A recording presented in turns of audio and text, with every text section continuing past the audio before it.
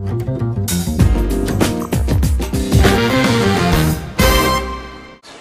the director of Cairo Exit. It was yesterday.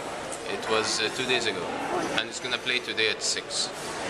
Uh, and yeah, we have a good crowd and really interesting filmmakers. It's nice to meet all the diversity of the filmmakers. Okay, my movie is uh, called Cairo Exit. It's a love story, and it's a love story between a Muslim uh, man and a Coptic Christian girl.